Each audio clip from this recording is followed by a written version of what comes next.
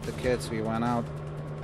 Well, that father and his family are dealing with the aftermath of a fast moving fire today. Their home in Rockland County is now badly damaged, and this afternoon the family is homeless. Investigators say that fire sparked inside a garage around 4 o'clock this morning on Dorchester Drive in Airmont, and News 12's Lisa LaRocca is there.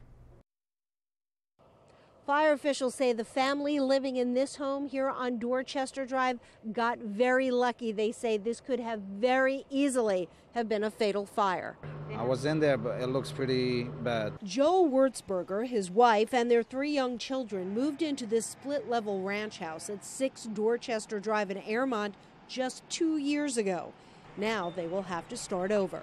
It was just after 4 this morning. Everyone was asleep except Werzberger's wife, who was about to head out to the gym. Once she opened the basement door, she saw all the black smoke, so she came running. I grabbed the kids, we went out.